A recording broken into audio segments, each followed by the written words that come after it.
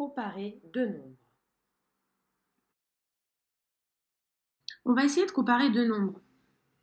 Par exemple, on va comparer euh, les nombres 14 et 23. La première chose qu'on fait euh, pour comparer deux nombres, c'est de regarder le chiffre des dizaines. Ici, le chiffre des dizaines, c'est 1. Il y a un paquet de 10 dans 14. Dans 23, il y a deux paquets de 10, puisque le chiffre des dizaines, c'est 2. Donc je n'ai même pas besoin de regarder les unités pour ces deux nombres, puisque d'ores et déjà, là je le sais, le plus grand des deux nombres, c'est 23. Figure. Maintenant, je dois comparer ces deux nombres, 24 et 23. Je vais de la même manière regarder d'abord le chiffre des dizaines. Dans 24, on a deux dizaines. Et dans 23, on a également deux dizaines.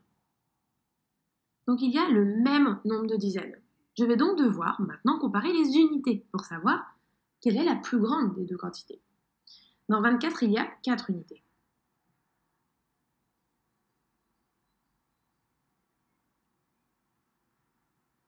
Et dans 23, il n'y en a que 3.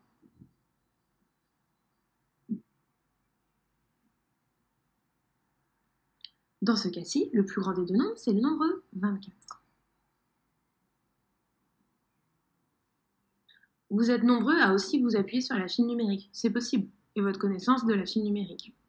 14, 23, je connais très bien la file numérique, je sais pertinemment que le 23 vient après le 14. Euh, et qui est donc, il est plus grand. En effet, si on regarde la file, 14 est dans la famille des 10, alors que 23 est dans la famille des 20. Il vient après, c'est une plus grande quantité. Pour 23 et 24, de la même manière, si je connais bien ma file, 20, 21, 22, 23, 24, je sais que 24 vient après et que donc il est plus grand. Puisque oui, je vous le rappelle, plus on avance dans la file numérique, plus le nombre est grand, la quantité est grande, de 1 en 1. On ajoute une unité à chaque fois. Si je prends l'exemple du 77 et 68, c'est vrai, on ne les connaît pas. Mais moi, ce que je sais faire, c'est regarder le chiffre des dizaines. Et si je regarde le chiffre des dizaines, ici 7 et ici 6, eh bien je vois tout de suite que dans ce nombre, j'ai 7 paquets de 10. Et ici, j'ai 6 paquets de 10.